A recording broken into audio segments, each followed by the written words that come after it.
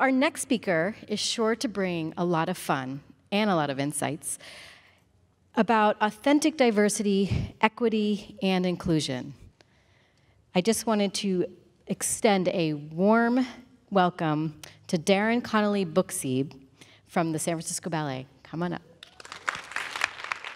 Okay, good morning. No, it's not morning. Hello. I am the HR director and the head of diversity, equity, and inclusion at San Francisco Ballet. Um, obviously, today we're going to be talking about flawless diversity, equity, and inclusion. We're going to use lessons from my cousin Beyonce. Um, you're laughing at that. That's very interesting. That's very... I've only told you one lie so far, and you think it was what you just laughed about. The one lie I told you initially is, is the flawless part, right? Because we're all on a journey together here in this diversity and equity and inclusion realm. And so we're not at that flawless point yet. But what are some lessons that we can learn from Beyonce, my cousin? uh, um, that could help us strive further in this diversity, equity, and inclusion journey. So, by way of the agenda, we're going to go over an introduction. I'm going to tell you why Beyonce not only is, is my cousin, but she's also me. Um, then we're going to go into what separates us, what is blocking us from really having authentic, flawless diversity, equity, and inclusion principles, policies in our workplace and outside of our workplace where it matters too. So, what is that partition? You laugh because you're seeing the references that are in bold to each of Beyonce's hit songs that you all will dance to later on in this program. then, yes! then we're going to talk about getting into a diversity, equity, inclusion community, into a formation, and what that means for each of us and what our responsibility is for us to get inside that formation. We'll then take a little sip of lemonade, because we're parched. I'm parched thinking about it. Um, and we're going to upgrade your, yes, I spelled your wrong. It's on purpose, okay? Because it's the song is upgrade you. And how many people knew? How many people knew that? Are these all Beyonce fans in here? Oh, wow. I saw 10 people I'm going to talk to. And then, and then we're going to go ahead and talk about mindfulness. So getting into a DEI mindset. What that means, again, not just for our workplace, but for our personal lives as well. Then we'll move on to bring it home to our homecoming pep rally. And we'll talk a little bit about homecoming. I'm sure you've seen it on Netflix. If you haven't, you'll see a little bit of today. You'll stand up, you'll get your jive on. Um, sober, I know, but get your jive on. And then we'll talk about running the world for diversity, equity, and inclusion. Um, and that's when we leave this room. What are we empowered to do to get closer to a flawless diversity, equity, and inclusion lens? I want to start by giving a little bit of an introduction to myself and Beyonce. D and B, Bay, B, Bay, Beehive. First watch, it's really fun.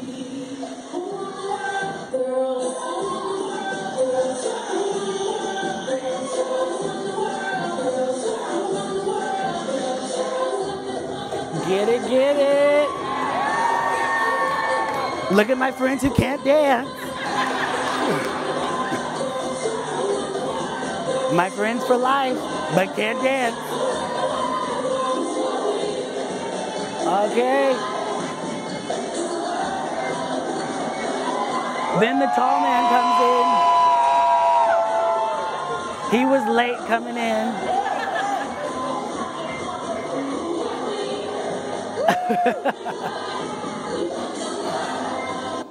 so I think we got a good picture of my dancing ability. Um, Thank you, thank you. So that was from our wedding. This is my husband, Mark. I like to give a little background about myself, and one of the happiest aspects of my life is my life outside of work, like many of you. Um, so this is from our wedding. We were married uh, almost three years ago. My father married us. He's very excited to be there. He's like, You finally found a good one. I cried a lot because I'm a crybaby. We danced. I made everybody dance who was in that room after this video as well. Um, and then I want to go back here. So that's like a little bit of my story, why I like Beyonce, who I am right now. One other important element is that I work for a ballet organization.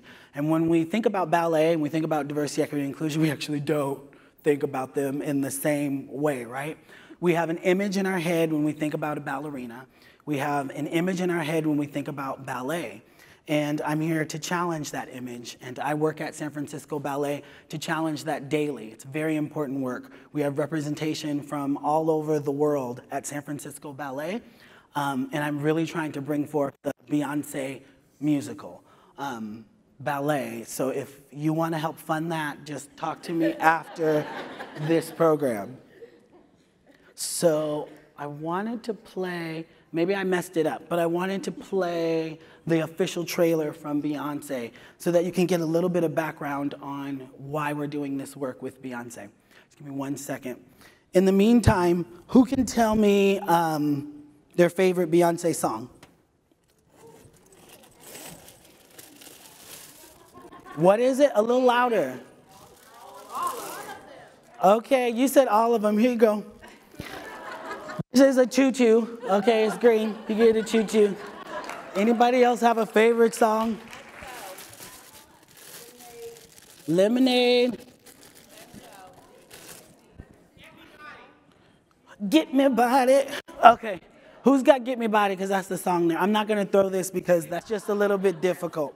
And now I think this video is ready to play. I was stalling. Here you go. You take this too. and, then, and then we'll play this. What I really want to do is be a representative of my race, of the human race.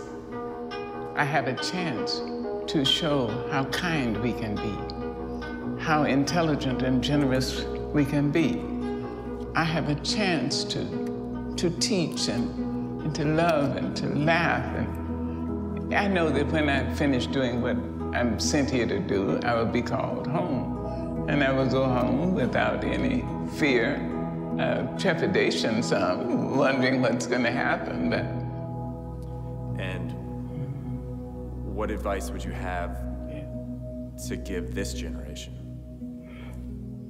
Tell the truth to yourself first and to the children.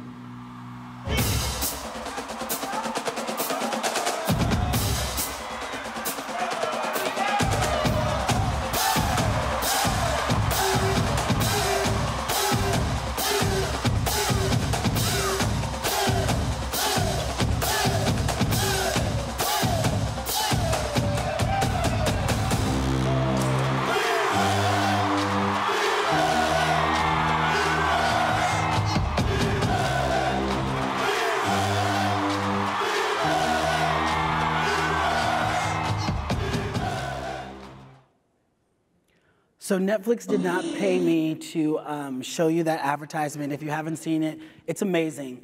But when we um, were asked to think about the first word that jumps to your mind when we talked about ballet, um, I want to ask the same question. The first word that comes to your mind when you think about Beyonce, and you can shout those words out so I can hear them. Flawless, stunning, iconic, committed, powerful, focused fierce. Did you say Virgo? I had to do a double take on that one. I was like, yes, Virgo. Any others? A couple more. Woman. Graceful, strong, unapologetic, and unapologetically black, right? So when we first think about Beyonce, we don't instantly think black, and we don't instantly, except for one person here, said woman. And Kimberlé Crenshaw's work, she talks a lot about intersectionality, and that's where I want to focus on a little bit. What I'm trying to get at through our work, from doing talent management, from doing HR, from doing compliance, and from just doing the general work in communities, is that intersectionality matters. And if we build programs and relationships and community with those who have often been left out, um, we stand to get to that flawless point of diversity, equity, and inclusion. Right? If we look at our prison industrial complex, um, we see what? We see brown and black men and women are locked up at crazy rates. bigger than the rates of slavery itself currently. When we turn on CNN or Fox News or whatever it might be at night, we see that there are constant problems that are intersecting in our culture and in our workplace. So the days of us bringing our whole selves to work need to actually occur. But we also have to recognize that while we feel comfortable bringing our whole selves, others don't because of things that are happening in society. By focusing on Beyonce, a black woman, we'll look at how she practices strong allyship with the privileges that she has. She's rich. She's rich as hell, y'all. And, and I'm not. I'm not here, Beyonce, if you're watching this. Come on, hook me up. Um, but she uses her platform, literally her stage, to do activist work, especially as of recently, for black women and black and brown bodies. And I think that we can also model our programming, model our behaviors around what Beyonce does on a budget. but this work is very important, so I've got to give you a warning about the work, right? Once you've heard about it, once you know um, that there's an issue, that there's an issue that brown and black folks are facing, that there's an issue for oppressed groups that they're facing, that there's an issue of discrimination at your workplace, where some of you may want to raise your hand and talk about it. I welcome you to after when the cameras are turned off and your boss doesn't find it. But that with this work, we have to know you can't unsee, you can't unhear what you're about to learn. And some of you have learned it already, but these skills and tactics have sit dormant. And we've got to remember through lessons from Beyonce to keep them up. Otherwise, we'll never get to the point of flawless diversity, equity, and inclusion. On a cultural competency model, there are four main areas of talking about diversity, equity, and inclusion work. I want to be very clear that the focus of today's session will all be in action and advocacy. So, what can we take with us what can we do for ourselves and for others in the community and in our workplaces, and for those who apply for jobs at our workplaces that um, actually changes outcomes? So, getting into the DEI partition, what is keeping us back from diversity, equity, and inclusion, and getting to it in a flawless manner? Um, number one, we are terrified of naming the problem. There's multiple reasons for that because of power dynamics in the workplace, power dynamics in society, just being plain old tired of having to name it and then being told what you're naming is not adequate, not right, not true. I'm not racist, right? So that just solves everything when I say that and I tell you about my one black friend. And then, okay, yeah, you're not racist. I'm so proud of you. We've got to actually name the issue. We've got to call it out by what it is, and people may be offended by that. Um, but call it out in a way that people can hear it. Be courageous in your conversations, but be persistent and consistent about calling it out. We have to move beyond a point of not being the not, right? So oftentimes, like I said, we know that person when we're on public transportation and they come up to you and they're like, girl, your hair is laid. Let me, let me touch it. Ah, See, I don't even laugh. I'm like, get out of my face. And, and they, you know, they want the different texture is different. You know, I just want to touch it. I just, you know, I like your hair. I just never touched it before. Um, and then you have a word for them in your head, and you're just like, I want to let them know that this is not right. But there's a way to call them in instead of calling them out. So, unfortunately, we're in the job of education even when we didn't sign up to be school teachers. Any school teachers in the, in the place? What? Come on now. Okay, you guys are going to educate us because we need help. Because it's difficult. It's very difficult to try to educate someone on the spot when they've hurt you, right? Very difficult to educate somebody when they have played towards a certain role that you've known your entire life. And that happens in interviews, right? There's phone calls, there's pronunciation of names, there's perceived genders. Um, and that hurts when you get things wrong or when you say things that are offensive. Well, where are you from? And I tell you Monterey, because I'm from Monterey. Well, where are you really from? I said I was from Monterey. Didn't you watch Big Little Lies? You know what happens when you don't get the answer right? So, in calling people in, we have to know how we're going to do it, how we're going to say it. Another step that we want to take is obviously being aware of our own biases, being aware of our own privileges, being aware of the stereotypes that we perpetuate. And that's in and out of work, right? I can watch this really funny comedy on Netflix that has full of racist and sexist connotations all by myself in my house or with my closest friends who all look like me, but you know, I'm down for the cause, right? I'm down to do diversity, equity, and inclusion, but in my house, I want to watch this program that really does nothing to get to not being racist, great, but it does nothing to get to actually be anti racist or anti sexist. And to get to the anti, it takes action and advocacy. It takes you in the private moments in your home or with your closest friends challenging them, challenging your family at the Thanksgiving table, um, but don't challenge your mama the other step is we want to build significant relationships with those who don't look like, act like, behave like, come from um, places that we come from, right?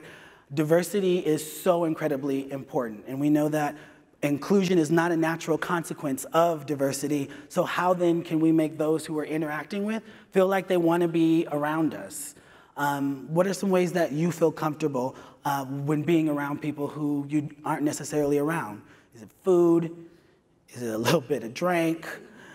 Is it a conversation about something that you share in common? Like, I don't know, we're all the human race and climate change is coming, y'all. It's already here. Maybe we can talk about those, those things to get closer to who we are. So I live in San Francisco, and this is some data from 2011 and 2000 to 2015. The numbers are way off now because you've got to make $3 billion to have a one bedroom um, apartment in San Francisco. So I feel really bad right now for the white men who are at $104,000 now. They're poor in San Francisco. I don't know how they're making it. So back in 2011, 2015, this diagram is showcasing exactly where people of color are falling in San Francisco. And truly, in the Bay Area, they're falling out of it. Um, how many folks live in the Bay Area? All right. And how many folks of color live in San Francisco who raised their hand? All right, one person, I gotta get you, gotta take me to lunch. in San Francisco, you know what I'm saying?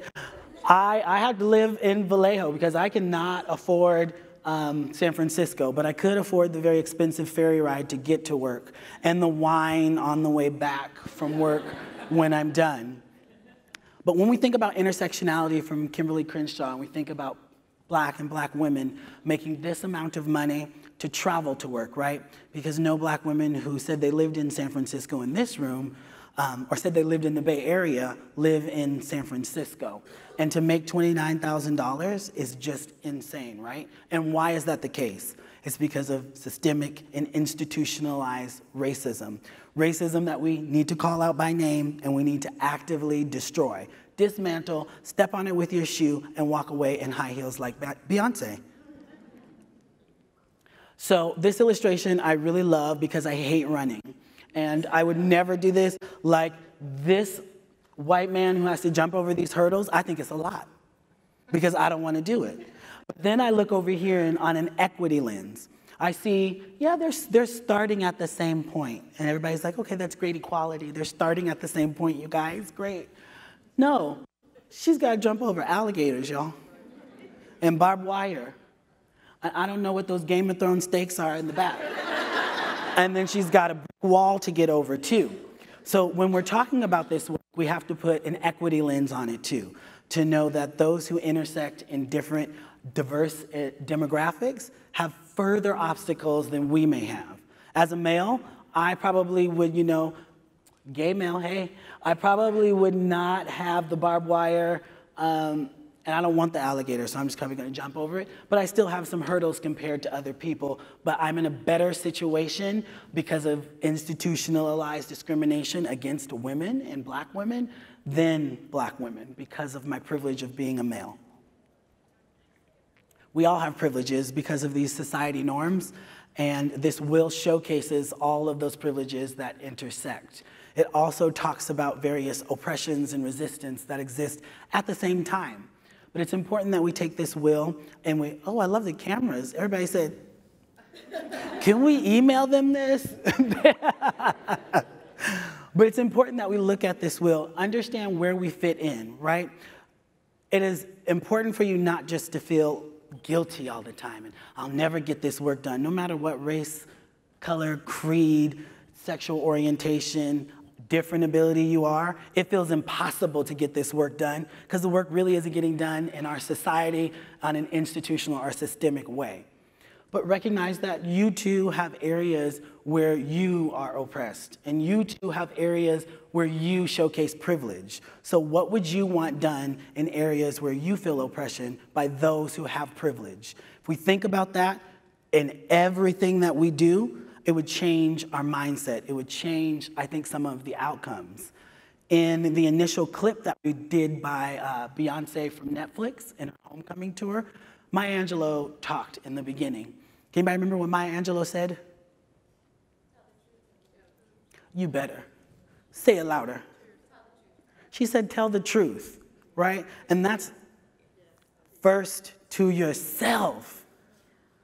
And I think that's where we're having the problem. We want our organizations to tell us everything about diversity, equity, inclusion. We want our ERG leaders to be like, hey, we solved everything for you. It is our work first to ourselves, right? Then to others. It is important that we own this work, even when we feel like we don't want to own it and we want to kick it to the curb. Nothing's going to change unless we have self ownership, unless we tell the truth first to ourselves. She also said that she wants to uh, be present um, in her race and in the human race. She wants to live every moment being kind. And what does that mean to be kind, right? I think it's something that we take incredibly for granted. And I'm this artsy guy who works for a ballet organization where people are always hugging, and I'm like, don't touch me. Um, but now it's rubbing off, and I'm like, would you like a welcome hug? Because that's my, that's my lawyer mentality. I'm like, no, not today.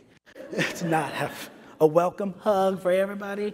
But the work is going to be so important for us to remember to be kind, be kind to ourselves and be kind to others, and really define what that means. So this will is going to be important for us to use in our day-to-day lives in and out of work. So now I want to get into a DEI formation. Um, how many of you got to go on Beyonce's tour when she did the Formation tour, the Lemonade tour? Okay. You went? Yeah. Why you didn't take me? so that was a phenomenal concert. She's absolutely amazing. She can perform herself off. But we remember the performance from that little tiny game, the Super Bowl. Um, I don't watch the stuff, okay? But I did watch in which Beyonce was performing. And she did like national black girl anthem when she came out hardcore and she did a tribute to the Black Panthers and she had all of her black brothers and sisters out there dancing and Bruno Mars. And Bruno Mars, he was holding it down. We love him. Um, but it was important because she used such a platform, right? To do something scary. Uh, the last black woman to get up there and do something scary that she didn't even do, it was Justin. Uh, what happened to her, right? This truly, we don't ever want to be like, well, she rich, she can solve everything, she got kids, she named them weird names, and that's just like what? But she's actually a human who decided to make a conscious decision in her work, in her livelihood, to take a risk, right? Who's ever been at the Super Bowl and worn Black Panther garments gave a tribute to them, and said, I like hot sauce in my bag. Swag. I don't know anybody who's done that before, but in our jobs, we have to take those risks too. Um, and we're going to get into risk taking a little bit later, but it is incredibly important. I know we got to get our paycheck. I know we have to pay our bills.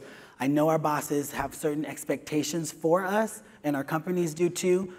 Your expectations for yourselves are more important.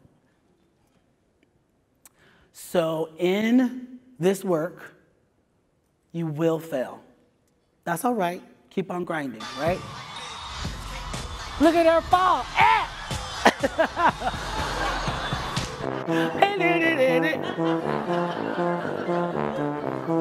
I'm sorry, B. And then he comes out like, hey. so, look, I want to go back to this.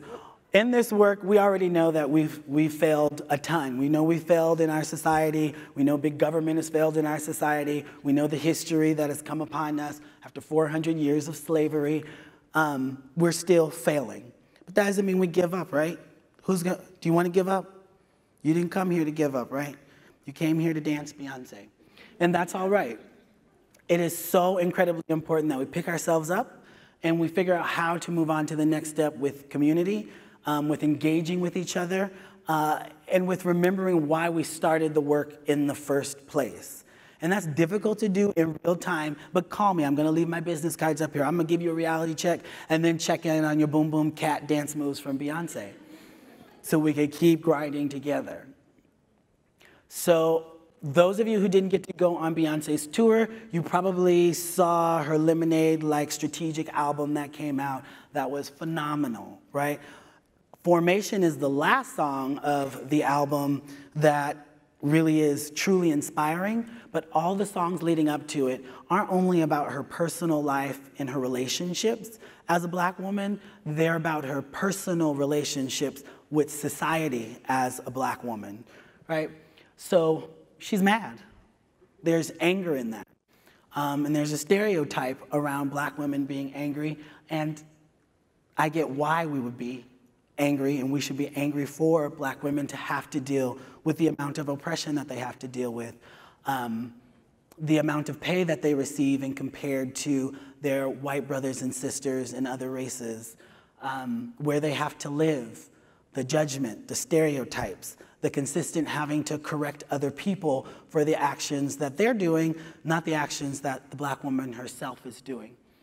It gets tiring, right?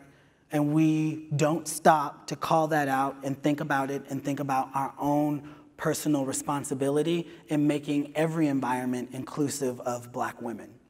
And I really do strongly think that if we build programs around how we encourage, include, provide a psychologically safe place and an income that is reflective of that psychologically safe place for black women, we will touch every other intersecting group. I strongly believe it if we start with black women. Maybe because my mother is a black woman and I'm tired of her being discriminated against, but it's also because I believe it's the right way to go um, in a way that we're not currently thinking about. I think we're thinking about let's hit every area of diversity, and we're doing, uh, for lack of better word, half-assed job at it, right? Because we're trying to hit 27,000 intricate areas of diversity and we're not hitting one effectively. So I really strongly believe, oh, is that a picture? so, I gotta make sure you guys are still awake.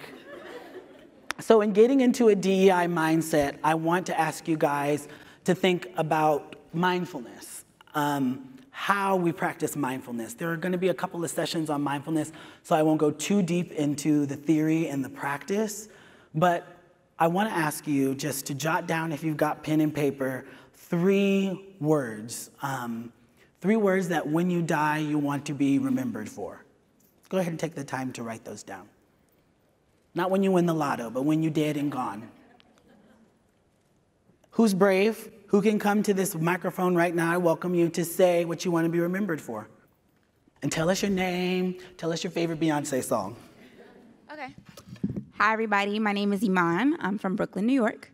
Um, whoop, whoop. Of course. Um, my favorite Beyonce song, honestly, probably is Formation because it is really impactful, um, considering the climate and when I think about my own experiences. So that's probably the favorite one. Um, and my three words that I'd like to be remembered by once I'm deceased are creative, thoughtful, and happy. Creative, thoughtful, and happy. Mm-hmm. It's beautiful. Creative, thoughtful, and happy. Anybody else want to come to the microphone? Because it's going to be filmed. In case anything happens on this trip, at least they're going to get it back to your family. Um, my name is Sharita, and my favorite song, I love all of Beyonce. I, will take it back to Survivor, which is not necessarily her song, but. It was her. She kicked everybody exactly. out, anyways. um, the three words I chose were um, loving, generous, and a believer. Loving, generous, and a believer. You better work. One more person. Anybody feeling brave? The microphone. I'm gonna do two more because I just I did this motion that invited people, so I'm gonna do two. Hi, I'm Linda. I'm also from San Francisco. Come on, buy me lunch. All right, all right, we'll do that. We'll do that. I'll get your number after. Um, my favorite song right now is Irreplaceable because I've been dating, so. Irre- you know what I'm talking about, right?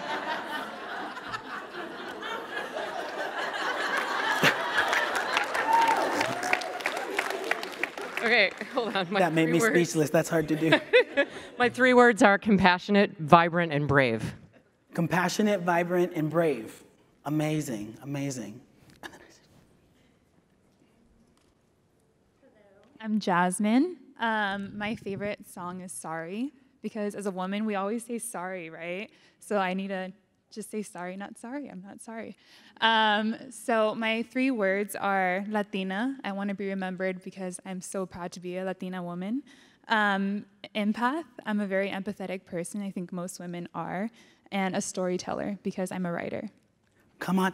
Now, when you said storytelling, that's like I'll go on a whole nother tangent. I'm gonna make you stand there for a minute and talk to you. Storytelling is so incredibly important, and claiming back the narrative of our own story is very important. Um, I'll, I talk about it every single day and ballet, right? Because it's like Romeo and Juliet and like Nutcracker, and they're all phenomenal, but they all feel like you're telling the same story about the same particular homogenous group, and I'm tired of hearing about them and their family. I want to change the narrative.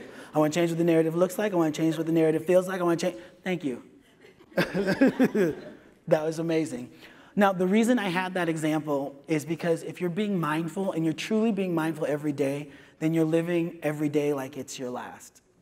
And you're living every day where each of your points, you're being creative, you're storytelling, you're being brave, you're being courageous, you're being um, direct, whatever it may be, you're living that life consistently every day. You're having to think about that though, which is difficult, right? Because nobody wants to wake up in the morning like, eh, it's gonna be my last day. So let me just think about all these things that I wanna be and prove to myself before I kick the bucket that I'm gonna be those things. So I urge you, instead of thinking you're proving it to yourself, just think you're trying to live it for yourself. No proof necessary, no judgment necessary, right? Because they're internal. Uh, at least for those who didn't share it on the microphone, for the rest of you, I'm, I'm gonna call you if I find out it's not trying to be at your funeral. You also, we talked about this earlier, we wanna take risk. Um, and that means sometimes putting our jobs on the line. And that is difficult to do. Those of us that work in diversity, equity, inclusion space, your job's on the line every single day. Um, because you can say the right thing, I'm gonna say the right thing, okay? Not the wrong thing, but you're saying it to a person who's not quite on the journey that you're on, at a different starting point, and that can truly end your job, right? To call somebody in about their racism who ranks you in power dynamic and hierarchy is hard. It's difficult, but it is so incredibly important because you still have privileges, right? And we need to exercise those privileges, and that means taking a risk. And I think that is one of the biggest points that we as leaders in organizations and in society aren't doing.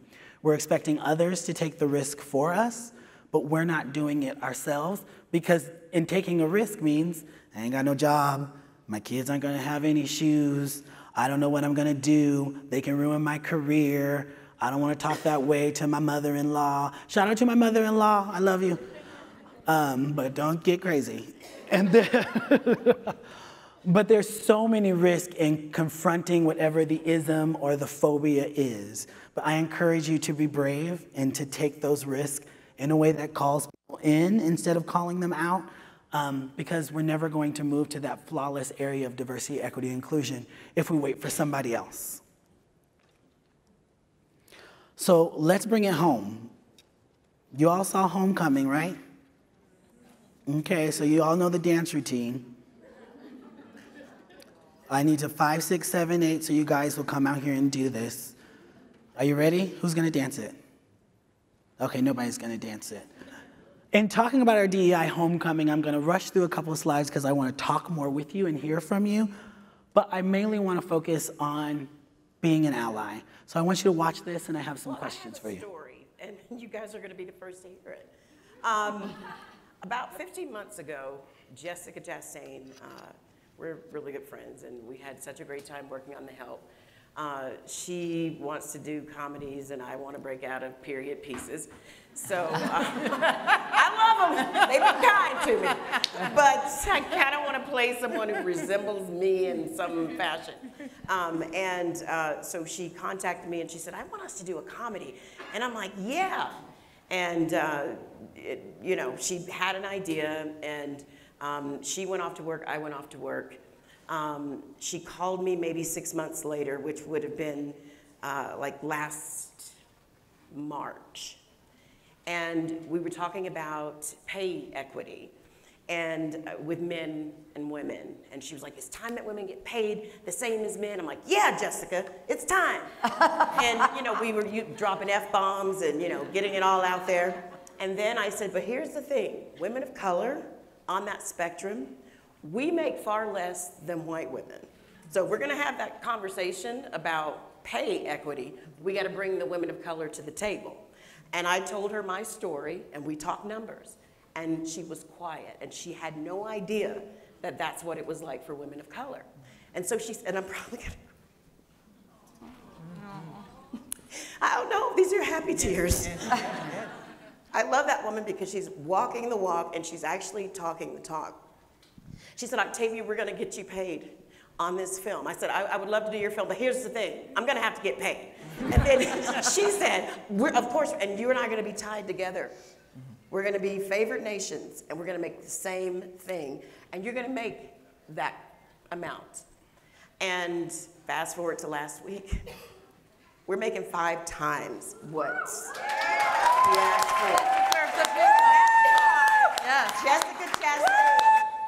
So, in that video, tell me what you noticed specifically about Jessica Chastain when it comes to being an ally. Brave people can come to the mic, or if you feel more comfortable shouting out, cool, I can repeat. So, when you have privilege, it's your responsibility to bring others along.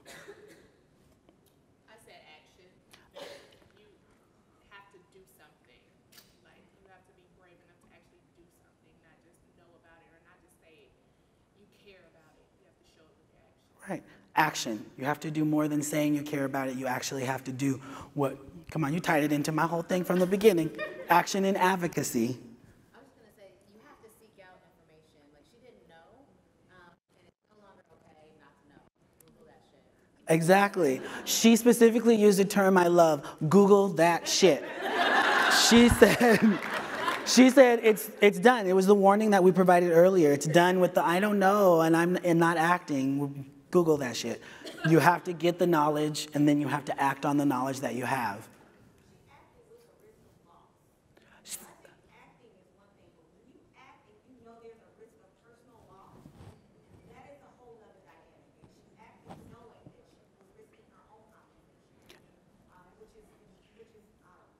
Right, because she's still a woman working in an industry that are dominated at the top by men, typically white men. And Jessica said, I'm still going to be an ally to my girl who deserves, at the very least, the same rate of pay as me, which is a huge and incredible risk. I think you guys have got all those points. I've got another video to show you, and then I have some questions about that.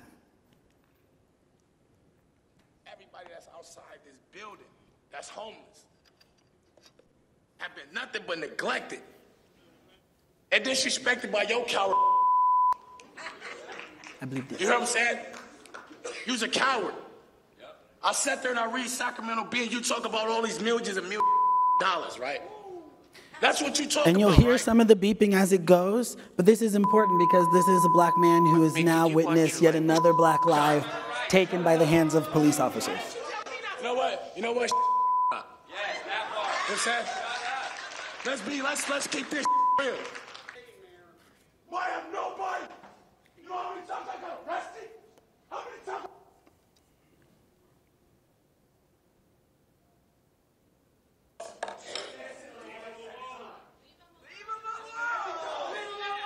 Leave him alone. Hold on.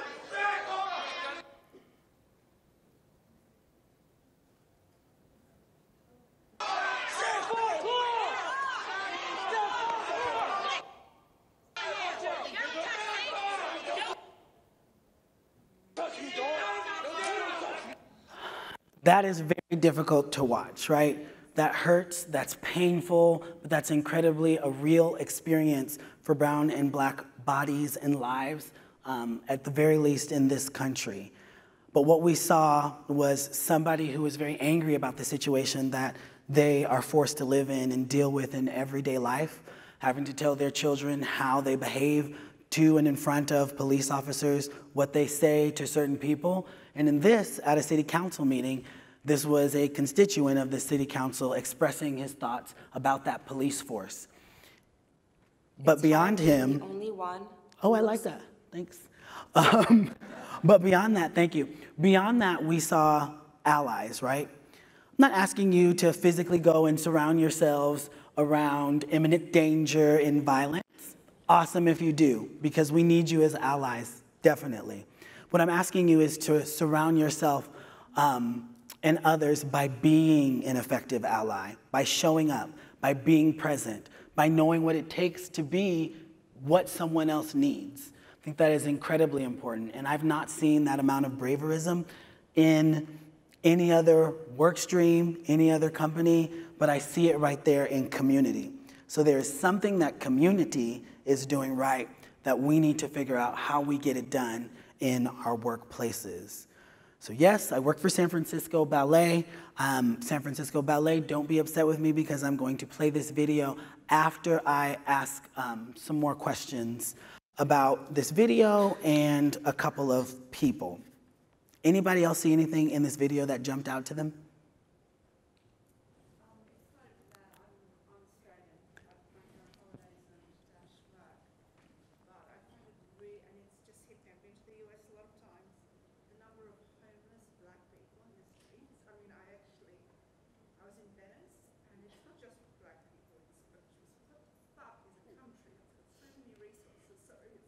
Right.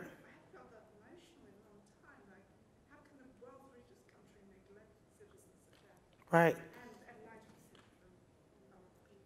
Oh, Thank you for being, no, no, thank you for being open with that. I think that's important. So she's from Australia and she's come to the States many times, but she sees the constant amount of homelessness and the homelessness that are affecting.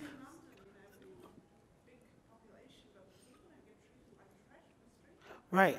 We desensitize, right? We turn off our minds when we walk by folks in the street because we don't want to engage. We don't want that community. We don't want it. If we are really being real and calling it out by name, and we feel powerless, we're like, well, how can we help? So then we just choose to ignore it.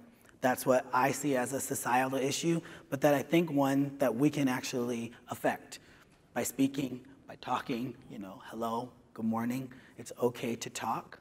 Um, that was really good. I really appreciate that. That's no, that's really good. I like that perspective. If I can have everybody stand up. I have very much enjoyed my time with you. We're going to open it up for questions in a minute, but I have some questions for you. If you have not heard of this, then you can sit down. Um, but if you have, I want you to stay standing. If you know these names, something I also got from my hero, Kimberlé Crenshaw. Um, but Jazzaline Ware, if you know the name, stay standing. If you don't know the name, sit down. Muhlaysia Booker.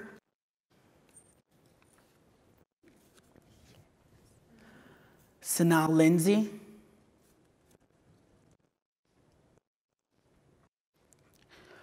I have about 22 more names to get to. Um, but each of these names are slain black transgender women in the last seven months that we don't know. We don't, we, we stopped at three. They have names, they have an experience that's important, and we may not be able to see how that intersects with our work stream, but you all have personal lives. And unfortunately or fortunately, we will spend most of our time working. We also want to bring in that personal aspect. I want to encourage you to get into formation, in a Beyoncé formation, and figure out how you bring your personal side to your working professional lives to know every name that's important and that's black and that's transgender and no longer with us. I thank you all for your time. I'm out of time. If you have questions, let me know I'm here and I'll play a video so my company feels really happy.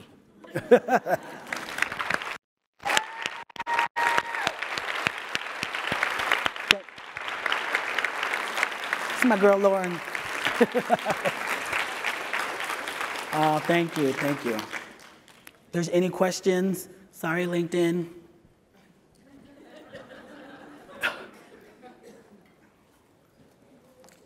Any que- Maybe we want to use the mic so everybody can hear.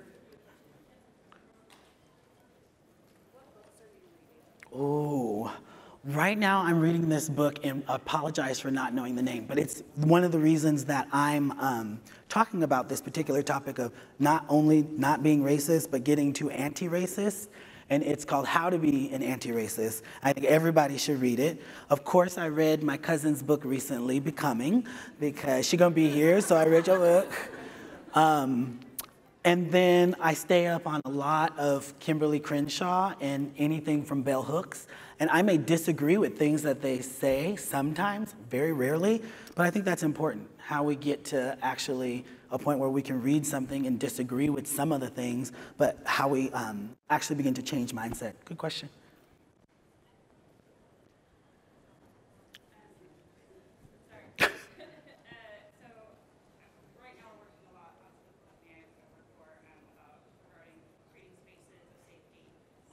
Mm.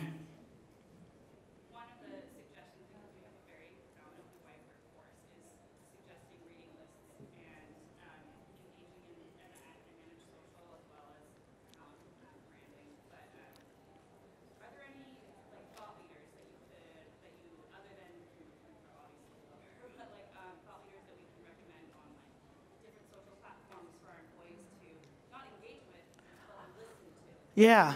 Um, I barely use Facebook anymore, but Facebook has a great platform around diversity, equity, and inclusion that they provide free to anybody who wants it. So I'm, I'm a big proponent of in person. I just feel like you get a better reaction. It's more real. But if you don't want to pay for some of the training and see the thought leaders, you can see a bunch of them um, on Facebook's platform. You can also see a bunch on TED Talks as well. I will keep saying Kimberlé Crenshaw's name. She's an academic, but she's just a phenomenal human being. And I think that if you can get Kimberlé to come in, if you can get Angela Davis to come in, if you can get Beyoncé Knowles Carter to come in, that is really going to have an effect, I think, on your workplace. But even more importantly is management training, right? People don't leave their jobs for the most part. They leave their bosses because their bosses are, you can fill in the blank. Um, and managers, bosses need training. And not just training that they get to go to and sign a nice little statement to say that they went, but they need to tie it to their performance plan. So you did this, you're not getting paid. You do this, that's one issue, and guess you do it again, you need to be gone.